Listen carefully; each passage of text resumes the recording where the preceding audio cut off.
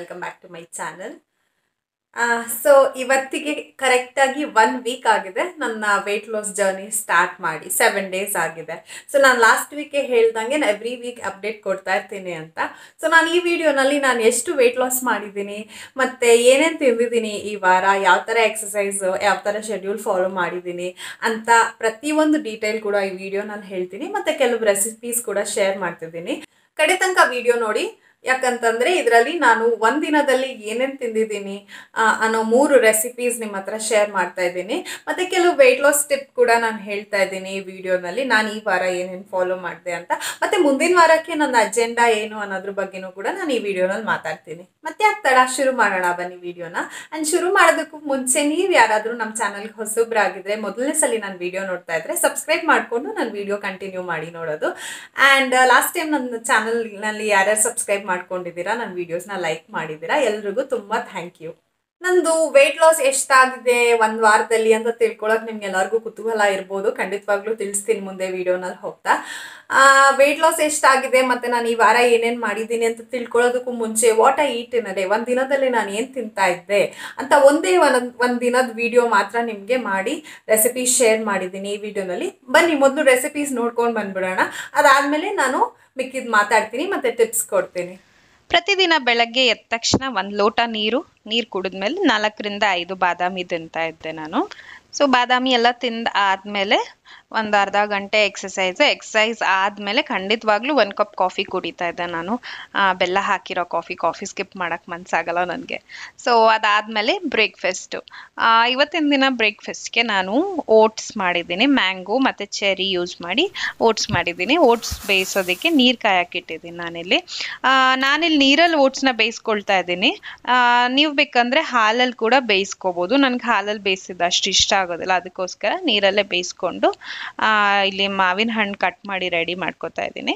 Almost ಇಲ್ಲಿ oats ಬೆಂದಿದೆ. ಒಂದು ಎರಡರಿಂದ ಮೂರರಿಂದ ಐದು ನಿಮಿಷ ಬೇಯಿಸ್ಕೊಂಡ್ರೆ ಬೆಂದ್ಬಿಡುತ್ತೆ. ಬೇಗ ಓಟ್ಸಿನ ಜಾಸ್ತಿ ಹೊತ್ತು ತಗೊಳ್ಳೋದಿಲ್ಲ ಸೊ ಬೇಯಿಸ್ಕೊಂಡಿರೋ ಓಟ್ಸ್ನ ಒಂದು ಸಪ್ರೇಟ್ ಬಟ್ಲಿಗೆ ಹಾಕ್ಕೊಂಡು ಅದಕ್ಕೆ ನಿಮಗೆ ಎಕ್ಸ್ಟ್ರಾ ಸ್ವೀಟ್ ಬೇಕಂತಂದರೆ ಜೇನುತುಪ್ಪ ಹಾಕ್ಕೋಬೋದು. ಇಲ್ಲಾಂದರೆ ಈ ಸ್ಟೆಪ್ ನೀವು ಸ್ಕಿಪ್ ಕೂಡ ಮಾಡ್ಬೋದು. ಜೇನುತುಪ್ಪ ಬೇಡ ಅಂತಂದ್ರೆ. ಬಟ್ ಸಕ್ಕರೆ ಆಗಲಿ, ಬೆಲ್ಲ ಆಗ್ಲಿ ಏನು ಹಾಕ್ಕೋಬೇಡಿ. ಫ್ರೂಟ್ಸಲ್ಲೇ ನ್ಯಾಚುರಲ್ ಸ್ವೀಟ್ನೆಸ್ ಇರುತ್ತೆ. ಸೊ ಅದ್ರ ಜೊತೆನೆ ತಿಂದರೆ ಸಾಕಾಗತ್ತೆ. ಸೊ ಇದಕ್ಕೆ ನಾನು ಮಾವಿನ ಹಣ್ಣು ಒಂದು ಆಲ್ಮೋಸ್ಟ್ ಒಂದು ಹಣ್ಣು ಪೂರ್ತಿ ಹಾಕ್ಕೊಳ್ತಾ ಇದ್ದೀನಿ. ಅಷ್ಟೇ ಬೇರೆ ಏನೂ ಇಲ್ಲ. ನಾಲ್ಕರಿಂದ ಐದು ಚೆರಿ ಹಾಕ್ಕೊಂಡು ತಿಂತಾ ಇದ್ದೀನಿ. ಅಷ್ಟೇ ಎಕ್ಸ್ಟ್ರಾ ಏನೂ ಇಲ್ಲ. ಆದ್ರೆ ಇದೇ ತುಂಬಾ ಟೇಸ್ಟಿ ಮತ್ತು ಮತ್ತೆ ತುಂಬಾ ಫಿಲ್ಲಿಂಗ್ ಅಂತ ಅನ್ಸುತ್ತೆ. ಹಣ್ಣುಗಳು ಓಟ್ಸ್ ಆ್ಯಕ್ಚುಲಿ ತುಂಬಾ ಫಿಲ್ಲಿಂಗ್ ಅದು. ತುಂಬಾ ಹೊತ್ತು ತನಕ ಹಶ್ವ ಆಗೋದಿಲ್ಲ ಓಟ್ಸ್ ತಿಂದರೆ. ಸೊ ತುಂಬಾ ಚೆನ್ನಾಗೂ ಇತ್ತು. ಚೆರಿ ಇರೋದ್ರಿಂದ ಎಕ್ಸ್ಟ್ರಾ ಫ್ಲೇವರ್ ಬಂತು. ಮಾವಿನ ಹಣ್ಣು ಆಸ್ ಯೂಶಲ್ ನನ್ನ ಫೇವ್ರೆಟ್ ಸೊ ತುಂಬಾ ಚೆನ್ನಾಗಿತ್ತು. ಓಟ್ಸ್ ಮತ್ತೆ ಮ್ಯಾಂಗೋ ಹಾಕೊಂಡು ಮಾಡ್ಕೊಂಡಿದ್ದು. ಮತ್ತೆ ಡೈರೆಕ್ಟ್ ಲಂಚ್ ಮಧ್ಯದಲ್ಲಿ ನಾನು ಏನು ತಿನ್ನೋದಿಲ್ಲ. ಸೊ ಡೈರೆಕ್ಟ್ ಲಂಚ್ ಲಂಚ್ಗೆ ಇವತ್ತು ನಾನು ಬ್ರೋಕನ್ ವೀಟ್ ಯೂಸ್ ಮಾಡಿ ಪಲಾವ್ ಮಾಡ್ತಾ ಇದ್ದೀನಿ. ಪಲಾವ್ ಯಾಕಂದರೆ ಎಲ್ಲ ವೆಜಿಟೇಬಲ್ಸು ಯೂಸ್ ಮಾಡ್ಬೋದು. ನ್ಯೂಟ್ರಿಷಸ್ ಆಗಿರತ್ತೆ ಅಂತ ಅಂದ್ಬಿಟ್ಟು ದಿನ ಚಪಾತಿ ತಿನ್ನೋದಕ್ಕಿಂತ ಬ್ರೋಕನ್ ವೀಟ್ ಯೂಸ್ ಮಾಡಿ ಪಲಾವ್ ಮಾಡೋಣ ಅಂತ ಹೇಳಿ ಎಲ್ಲ ತರಕಾರಿ ಹೆಚ್ಕೊಳ್ತಾ ಇದ್ದೀನಿ ನಾನಿಲ್ಲಿ. ಬೀನ್ಸು ಕ್ಯಾರೆಟು ಆಲೂಗಡ್ಡೆ, ಬಟಾಣಿ ಮತ್ತು ಗೋಬಿ ತೊಗೊಂಡಿದ್ದೀನಿ. ಸೊ ಮಸಾಲೆಗೆ ಬೆಳ್ಳುಳ್ಳಿ, ಶುಂಠಿ, ಆಮೇಲೆ ಪೊ, ಕೊತ್ತಂಬರಿ ಸೊಪ್ಪು, ಪುದೀನ ಮತ್ತೆ ಒಂದು ಈರುಳ್ಳಿ ಹಾಕೊಳ್ತಾ ಇದ್ದೀನಿ ನಾನಿಲ್ಲಿ. ಇದು ಫುಲ್ ಮನೆಯವ್ರು ಎಲ್ಲರೂ ತಿಂತೀನಿ ಅಂತ ಹೇಳಿದ್ರು ಸೊ ಒಟ್ಟಿಗೆ ಎಲ್ಲ ಮಾಡ್ತಾ ಇದ್ದೀನಿ. ಒಬ್ಳಿಗೆ ಮಾಡಿ, ಪಲಾವ್ ಮಾಡ್ಕೊಳ್ಳೋದು ಕಷ್ಟ ಆಗುತ್ತೆ. ಸೊ ಮಸಾಲೆಗೆ ಮತ್ತೆ ಈರುಳ್ಳಿ ಹಾಕ್ಕೊಂಡು, ಮತ್ತೆ ಹಸಿರು ಮೆಣಸಿನ್ಕಾಯಿ, ಚಕ್ಕೆ, ಲವಂಗ, ಎರಡು ಏಲಕ್ಕಿ, ಅದಾದಮೇಲೆ ಸ್ವಲ್ಪ ಸೋಂಪು ಕಾಳು, ಇಷ್ಟು ಹಾಕ್ಕೊಂಡು ಗ್ರೈಂಡ್ ಮಾಡಿ ಇಟ್ಕೊಳ್ತಾ ಇದ್ದೀನಿ. ಹಾಂ, ನಾಲ್ಕು ಕಾಳು ಮೆಣ್, ಮೆಣಸು ಹಾಕ್ಕೊಂಡ್ರೆ ಚೆನ್ನಾಗಿರುತ್ತೆ ರುಚಿ. ಅಷ್ಟೂ ಕ್ಲೀನಾಗಿ ನುಣ್ಣಗೆ ರುಬ್ಬಿಟ್ಕೊಳ್ಬೇಕು, ಮತ್ತು ತರಕಾರಿ ಕೂಡ ಇಲ್ಲಿ ರೆಡಿ ಆಗಿದೆ. ಮತ್ತು ಈರುಳ್ಳಿ, ಟೊಮ್ಯಾಟೊ ಒಗ್ಗರಣೆಗೆ ಹೆಚ್ಚಿಟ್ಕೊಂಡಿದ್ದೀನಿ ನಾನಿಲ್ಲಿ. ಸೊ ಎಲ್ಲ ರೆಡಿ ಮಾಡಿ ಇಟ್ಕೊಂಡಿದ್ದೀನಿ ಸೊ ಒಗ್ಗರಣೆ ಹಾಕೋದು. ಫಸ್ಟ್ ಒಂಚೂರು ಎಣ್ಣೆ ಇಟ್ಕೊಂಡು ಬಾಣಲೆಗೆ, ಅದಕ್ಕೆ ಈರುಳ್ಳಿ ಮೊದಲು. ಈರುಳ್ಳಿ ಒಂಚೂರು ಬ್ರೌನ್ ಆಗ್ತಿದ್ದಂಗೆ ಮಸಾಲೆ ರುಬ್ಬಿಟ್ಕೊಂಡಿರ್ತೀವಲ್ಲ ಅದನ್ನ ಹಾಕೋಬೇಕು ಪೂರ್ತಿ ಹಸಿ ವಾಸನೆ ಹೋಗೋವರೆಗೂ ಚೆನ್ನಾಗಿ ಫ್ರೈ ಮಾಡ್ಕೊಳ್ಬೇಕು. ಆವಾಗಲೇ ಚೆನ್ನಾಗಿರುತ್ತೆ. ಹಸಿ ವಾಸನೆ ಇದ್ದು ಹಾಗೆ ಬ್ರೋಕನ್ ವೀಟ್ ಎಲ್ಲ ಹಾಕಿದ್ರೆ ಅಷ್ಟು ರುಚಿ ಬರೋದಿಲ್ಲ. ಸೊ, ಹಸಿ ವಾಸನೆ ಹೋಗೋವರೆಗೂ ಚೆನ್ನಾಗಿ ಹುರ್ಕೋಬೇಕು. ಸೊ, ಹಸಿ ವಾಸನೆ ಎಲ್ಲ ಹೋಗಾದ್ಮೇಲೆ ಏನೇನು ತರಕಾರಿ ಹೆಚ್ಚಿಟ್ಕೊಂಡಿರ್ತೀವಲ್ವ ಜಾಸ್ತಿ, ಅದನ್ನ ಹಾಕೋಬೇಕು ನಾನಿಲ್ಲಿ ಜಾಸ್ತಿ ತರಕಾರಿ ಬಳಸಿದ್ದೀನಿ. ಬ್ರೋಕನ್ ವೀಟ್ ಎಷ್ಟಿದೆಯೋ ಆಲ್ಮೋಸ್ಟ್ ಅಷ್ಟೇ ತರಕಾರಿನೂ ಈಕ್ವಲ್ ಅಮೌಂಟ್ಸಲ್ಲಿ ಎರಡೂ ತೊಗೊಂಡಿದ್ದೀನಿ. ತರಕಾರಿ ಎಲ್ಲ ಚೆನ್ನಾಗಿ ಫ್ರೈ ಮಾಡಿ ಆದಮೇಲೆ ಅದಕ್ಕೆ ಟೊಮ್ಯಾಟೊ ಹಾಕಿರಲ್ಲ ನಾವು ಶುರುನಲ್ಲಿ ಸೊ ಫ್ರೈ ತರಕಾರಿ ಎಲ್ಲ ಚೆನ್ನಾಗಿ ಫ್ರೈ ಆದ್ಮೇಲೆ ಟೊಮ್ಯಾಟೊ ಹಾಕಬೇಕು ಒಂಚೂರು. ಎರಡು ಟೊಮ್ಯಾಟೊ ಹೆಚ್ಚಿಟ್ಕೊಂಡಿದ್ನಲ್ಲ ಅಷ್ಟೂ ಹಾಕ್ತಾ ಇದ್ದೀನಿ ನಾನಿಲ್ಲಿ. ಎರಡು ಟೊಮ್ಯಾಟೊ ಹಾಕಿ ಒಂಚೂರು ಉಪ್ಪು ಹಾಕಿ ಮತ್ತೆ ಬಾಡಿಸ್ಕೊಳ್ಬೇಕು ಚೆನ್ನಾಗಿ. ಟೊಮ್ಯಾಟೊ ಒಂದು ಸ್ವಲ್ಪ ಸಾಫ್ಟ್ ಆಗ್ತಾ ಇದೆ ಅಂತ ಅಂದಮೇಲೆ ಒಂದು ಸ್ವಲ್ಪ ಮೊಸರು ಸಿಮ್ ಮಾಡ್ಕೋಬೇಕು ಉರಿನ ಜೋರು ಉರಿಲಿ ಮೊಸರು ಹಾಕಿದ್ರೆ ಒಡೊಡಕ್ಲಾಗ್ಬಿಡುತ್ತೆ. ಅದಕ್ಕೋಸ್ಕರ ಸಿಮ್ಮಲ್ಲಿ ಇಟ್ಕೊಂಡು ಒಂದು ಸ್ವಲ್ಪ ಮೊಸರು ಹಾಕಬೇಕು. ಅದಾದಮೇಲೆ ಬ್ರೋಕನ್ ವೀಟ್ ಹಾಕಬೇಕು. ಬ್ರೋಕನ್ ವೀಟ್ ಹಾಕಿದ್ಮೇಲೆ ಒಂದು ಎರಡರಿಂದ ಐದು ನಿಮಿಷದವರೆಗೂ ಚೂರು ಹಾಗೆ ಬಾಡಿಸ್ಕೋಬೇಕು. ಪೂರ್ತಿ ಮಿಕ್ಸ್ ಆಗೋವರೆಗೂ ಹಾಗೆ ಬಾಡಿಸ್ಕೊತಾ ಇರಬೇಕು. ಚೆನ್ನಾಗಿ ಫ್ರೈ ಆಗಿದೆ ಅಂತ ಅನ್ಸಿದ್ಮೇಲೆ ಎಷ್ಟು ನಾನಿಲ್ಲಿ ಒಂದು ಲೋಟ, ಒಂದೂವರೆ ಲೋಟ ಬ್ರೋಕನ್ ವೀಟ್ ತಗೊಂಡಿದ್ದೆ. ಸೊ ಮೂರು ಲೋಟ ನೀರು ಹಾಕಿ ಚೆನ್ನಾಗಿ ಕೂಗಿಸ್ಬಿಟ್ರೆ ಬ್ರೋಕನ್ ವೀಟ್ ಪಲಾವ್ ರೆಡಿ ಆಗೋಗುತ್ತೆ. ತುಂಬ healthy broken wheat so broken wheat pulao ಜೊತೆಗೆ ರಾಯ್ತಾ. ಆದ್ಮೇಲೆ ಈವ್ನಿಂಗ್ ಸ್ನ್ಯಾಕು ತುಂಬ ಹೆಲ್ದಿ ಮತ್ತೆ ತುಂಬ ಟೇಸ್ಟಿ ಆಗಿರೋ ಒಂದು ಕುಕಿ ಮಾಡ್ತಾ ಇದ್ದೀನಿ ನಾನಿಲ್ಲಿ. ಸೊ ಈ ಕುಕಿ ಮಾಡೋದಕ್ಕೆ ಎರಡು ಬ ಬಾಳೆ ಹಣ್ಣು ತೊಗೊಂಡಿದ್ದೀನಿ. ಪಚ್ಚ ಬಾಳೆಹಣ್ಣು ತಗೊಂಡು ಚೆನ್ನಾಗಿ ಸ್ಮ್ಯಾಶ್ ಮಾಡ್ಕೊತಾ ಇದ್ದೀನಿ. ಚೆನ್ನಾಗಿ ಒಂಚೂರು ಲಂಪ್ಸ್ ಇರೋ, ಇಲ್ದಿರೋ ಥರ ಚೆನ್ನಾಗಿ ಸ್ಮ್ಯಾಶ್ ಮಾಡ್ಕೋಬೇಕು. ಈ ಸ್ಮ್ಯಾಶ್ ಮಾಡ್ಕೊಂಡಿರೋದಕ್ಕೆ ಒಂದು ಸ್ವಲ್ಪ, ಒಂದರಿಂದ ಎರಡು ಚಿಟಿಕೆ ಅಷ್ಟು ಚಕ್ಕೆ ಪುಡಿ. ಹಾಕೋಬೇಕು. ಮತ್ತು ಇದಕ್ಕೆ ಒಂಚೂರು ಉಪ್ಪು, ಚಿಟಿಕೆ ಅಷ್ಟು ಉಪ್ಪು ಹಾಕೋಬೇಕು. ಟೇಸ್ಟ್ ಬ್ಯಾಲೆನ್ಸ್ ಆಗುತ್ತೆ ಅದಕ್ಕೋಸ್ಕರ. ಅದಾದಮೇಲೆ ಓಟ್ಸು ಓಟ್ಸನ್ನ ಬಾಳೆಹಣ್ಣು ಎಷ್ಟು ಹಿಡಿಸುತ್ತೋ ಅಲ್ಲಿವರೆಗೂ ಓಟ್ಸ್ ಕಲ್ಸ್ಕೊತಾ ಇರ್ಬೇಕು. ಸ್ವಲ್ಪ ಗಟ್ಟಿ ಆಗೋವರೆಗೂ ಚೂರು ಚೂರೇ ಹಾಕ್ಕೊಂಡು ಕಲ್ಸ್ಕೊತಾ ಇರಬೇಕು. ಒಂದು ಆ್ಯಕ್ಚುಲಿ ನಾನಿಲ್ಲಿ ಒಂದರಿಂದ ಒಂದೂವರೆ ಕಪ್ ಅಷ್ಟು ಓಟ್ಸ್ ಬಳಸಿದ್ದೀನಿ. ಸೊ ಅಷ್ಟು ನೀಟಾಗಿ ಕಲ್ಸ್ಕೊಂಡು ಆದಮೇಲೆ ಇದಕ್ಕೆ ಒಣದ್ರಾಕ್ಷಿ, ಕಪ್ಪುದು ಒಣದ್ರಾಕ್ಷಿ ಹಾಕಿ ಮತ್ತೆ ಇನ್ನೊಂದ್ಸಲಿ ಮಿಕ್ಸ್ ಮಾಡ್ಕೋಬೇಕು. ಈಗ ಕುಕ್ಕಿ ಮಾಡೋದಕ್ಕೆ ಮಿಕ್ಸ್ಚರ್ ರೆಡಿ ಆಗಿದೆ. ಸೊ ನಾನಿವಾಗ ಬೇಕಿಂಗ್ ಟ್ರೇಗೆ ಒಂದು ಸ್ವಲ್ಪ ತುಪ್ಪ ಸವರ್ಕೊಳ್ತಾ ಇದ್ದೇನೆ. ಅಂಟ್ಕೊಳ್ಳುತ್ತೆ ಅದಕ್ಕೋಸ್ಕರ ಕ್ಲೀನಾಗಿ ಫುಲ್ಲಾಗಿ ತುಪ್ಪ ಸವರ್ಕೋಬೇಕು. ತುಪ್ಪ ಸವರ್ಕೊಂಡು ರೆಡಿ ಮಾಡಿಟ್ಕೊಂಡಿದ್ದೀವಲ್ಲ ಕುಕ್ಕಿ ಮಿಕ್ಸ್ಚರು ಅದನ್ನು ನೀಟಾಗಿ ಆಂಬೋಡೆ ಥರ ಕ್ಲೀನಾಗಿ ಪುಟ್ ಪುಟ್ಟದಾಗಿ ತಗೊಂಡು ಬಾಲ್ ಸೈಜಲ್ಲಿ ನೀಟಾಗಿ ತಟ್ಬಿಡ್ಬೇಕು ಬೇಕಿಂಗ್ ಟ್ರೇಯಲ್ಲಿ ಇದೇನು ಹರಡ್ಕೊಳ್ಳೋದಿಲ್ಲ. ಅಥವಾ ಉಬ್ಬೋದು ಆಗಲಿ, ಆ ಥರ ಏನೂ ಆಗೋದಿಲ್ಲ. ಸೊ ತೀರಾ ಹತ್ತತ್ರ ಕೂಡ ಇಟ್ಕೋಬೋದು. ಇಟ್ಕೊಂಡು ನೀಟಾಗಿ ಬೇಕಿಂಗ್ ಟ್ರೇ ಎಷ್ಟು ಹಿಡಿಸುತ್ತೋ ಅಷ್ಟು ಕ್ಲೀನಾಗಿ ತಟ್ಬಿಟ್ಟು ಅವನಲ್ಲಿ ಒನ್ ಏಯ್ಟಿ ಡಿಗ್ರೀಸು ಟ್ವೆಂಟಿ ಮಿನಿಟ್ಸ್ವರೆಗೂ ಬೇಕ್ ಮಾಡಬೇಕು ಇದನ್ನು. After twenty minutes cookie ready ಆಗೋಗುತ್ತೆ. ಅವನ್ ಇಲ್ಲ ಅಂದರೆ ಕುಕ್ಕರಲ್ಲಿ ಕೂಡ ಇದನ್ನು ಮಾಡ್ಬೋದು. ಕೆಳಗಡೆ ಉಪ್ಪು ಹಾಕಿ ಹತ್ತರಿಂದ ಹದಿನೈದು ನಿಮಿಷವರೆಗೂ ಹಾಗೆ ಉಪ್ಪನ್ನ ಹೀಟ್ ಮಾಡಿ ಅದಾದಮೇಲೆ ಇಟ್ ಕುಕ್ಕಿ ರೆಡಿ ಮಾಡ್ಕೊಂಡಿರೋದನ್ನ ಒಳಗಡೆ ಇಟ್ಟು ಅದನ್ನು ಕೂಡ ಇಪ್ಪತ್ತರಿಂದ ಮೂವತ್ತು ನಿಮಿಷದವರೆಗೂ ಬೇಯಿಸಿದ್ರೆ ಸೊ ಕುಕ್ಕರಲ್ಲಿ ಕೂಡ ಕುಕ್ಕಿ ಹಾಗೆ ರೆಡಿ ಆಗುತ್ತೆ. ನೋಡಿ ಎಷ್ಟು ಚೆನ್ನಾಗಿ ರೆಡಿ ಆಗಿದೆ ಕುಕ್ಕಿ ಒಂದು ಸ್ವಲ್ಪ ಹೊತ್ತು ಆರಕ್ಕೆ ಬಿಟ್ಟರೆ ತುಂಬ ಕ್ರಿಸ್ಪಿಯಾಗಿತ್ತು ಕುಕ್ಕಿ ತುಂಬ ಚೆನ್ನಾಗಿತ್ತು. ಟೀ ಟೈಮಲ್ಲಿ ಇದನ್ನ ನಾವು ತಿನ್ಬೋದು ಹಶ್ವಾದ್ರೆ. ಆ್ಯಂಡ್ ನೆಕ್ಸ್ಟು ಡಿನ್ನರ್ ಸೊ ಡಿನ್ನರ್ಗೆ ನಾನಿಲ್ಲಿ ತುಂಬ ಹೆಲ್ದಿ ಮತ್ತು ಪ್ರೋಟೀನ್ ರಿಚ್ ಇರೋ ಒಂದು ರೆಸಿಪಿ ತೋರಿಸ್ತಾ ಇದ್ದೀನಿ ನಿಮಗೆ. ನಾನು ಬರೀ ಇದನ್ನು ಮಾತ್ರನೇ ತಿಂದಿದ್ದು. ಸೊ ಪನ್ನೀರು ಪನ್ನೀರ್ ಫ್ರೈ ಇದು.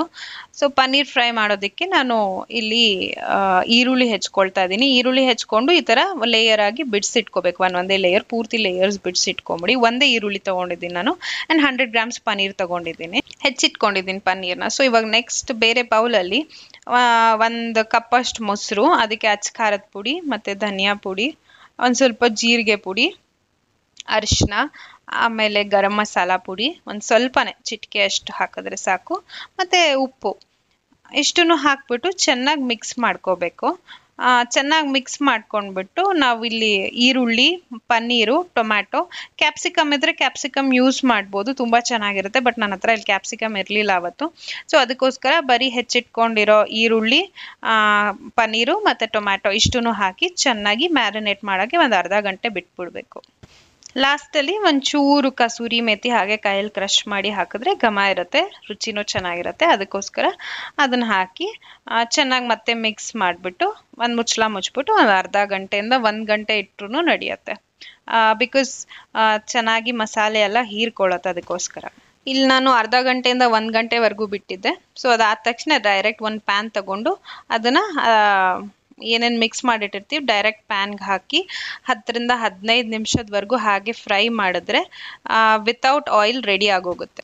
ಸೊ ಇದಾಗಿತ್ತು ನನ್ನ ಡಿನ್ನರು ಇದಕ್ಕೆ ಆಯಿಲ್ ಏನು ಬೇಕಾಗೋದಿಲ್ಲ. ಬೇಕಿದ್ರೆ ನೀವು ಹಾಕೋಬೋದು ಒಂದರಿಂದ ಟೂ ಟೀ ಸ್ಪೂನ್ ಅಷ್ಟು. ನೋಡಿದ್ರಲ್ಲ, ಏನೇನು ತಿಂದಿದ್ದೀನಿ, ಒಂದಿನದ್ದು ಅಂತ ಹೇಳಿ. ಪ್ರತಿಯೊಂದು ಕೂಡ ತುಂಬ ಲೋ ಕ್ಯಾಲೋರಿ ಮತ್ತು ತುಂಬ ಹೆಲ್ದಿ ಆಗಿರೋ ಊಟ ಇದು.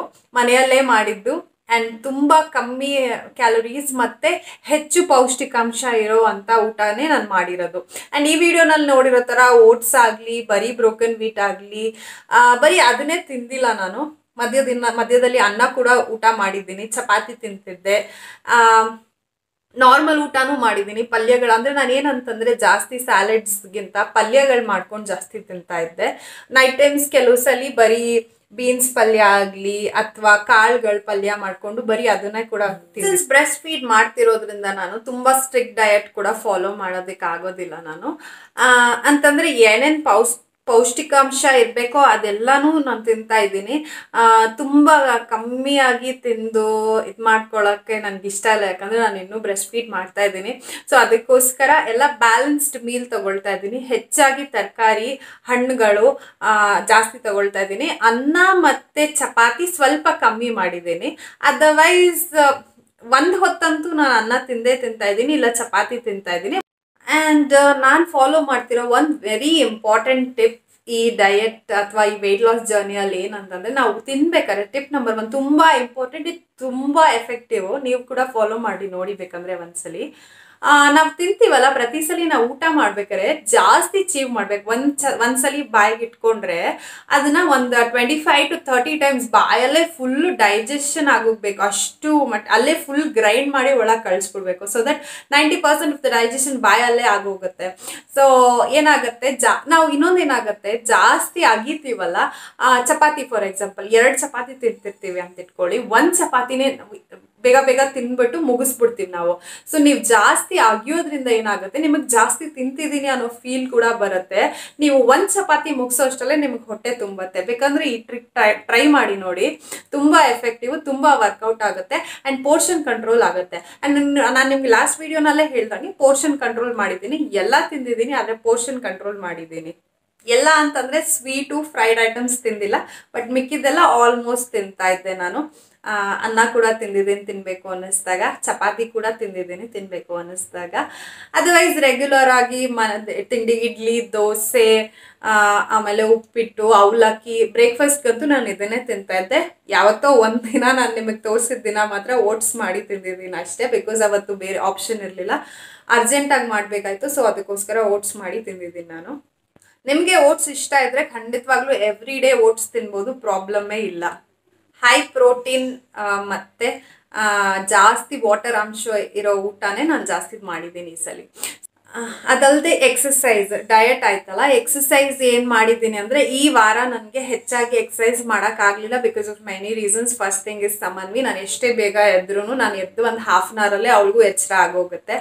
ಸೊ ಮ್ಯಾನೇಜ್ ಮಾಡೋಕ್ಕಾಗಲಿಲ್ಲ ಈ ವಾರ. ಈ ವಾರ ನೆಕ್ಸ್ಟ್ ವಾರ ಖಂಡಿತವಾಗ್ಲೂ ಆಲ್ ಸೆವೆನ್ ಡೇಸ್ ಎಕ್ಸಸೈಸ್ ಮಾಡಬೇಕು ಅಂತ ಖಂಡಿತವಾಗ್ಲೂ ಡಿಸೈಡ್ ಮಾಡಿದ್ದೀನಿ ಆ್ಯಂಡ್ ಮಾಡ್ತೀನಿ. ಈ ವಾರ ನನಗೆ ವೆಯ್ಟ್ ಲಾಸ್ ರಿಸಲ್ಟ್ಸ್ ನಿಜವಾಗ್ಲೂ ಚೆನ್ನಾಗೇ ಬಂದಿದೆ. ಅನ್ರಿಯಲಿಸ್ಟಿಕ್ ಆಗಿಲ್ಲ ಖಂಡಿತವಾಗ್ಲೂ. ಒಂದು ವಾರದಲ್ಲಿ ಎಷ್ಟು ವೆಯ್ಟ್ ಲಾಸ್ ಆಗಿದೆ ಅಂತ ನೀವೇ ನೋಡಿ.